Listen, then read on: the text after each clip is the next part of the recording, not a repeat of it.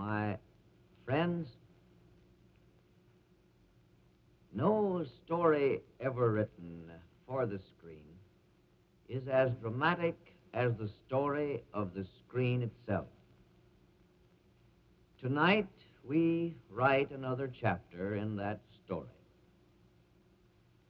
Far indeed have we advanced from that few seconds of shadow of a serpentine dancer 30 years ago when the motion picture was born to this public demonstration of the Vitaphone synchronizing the reproduction of sound with the reproduction of action.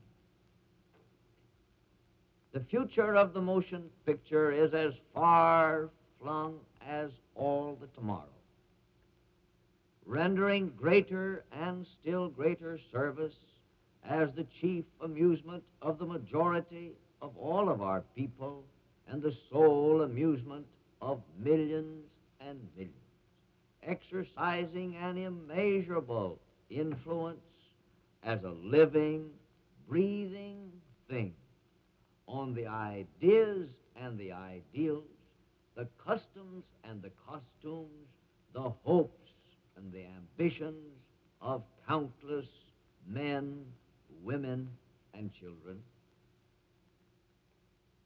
In the presentation of these pictures, music plays an invaluable part. The motion picture, too, is a most potent factor in the development of a national appreciation of good music.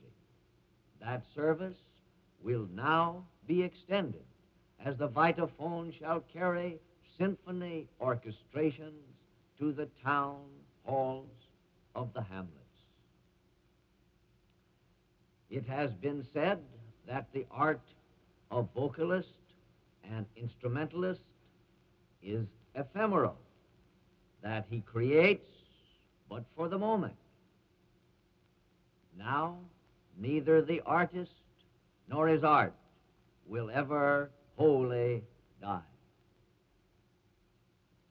Long experimentation and research by the Western Electric Company and the Bell Telephone Laboratories, supplemented by the efforts of Warner Brothers and Mr. Walter J. Rich, have made this great new instrument possible.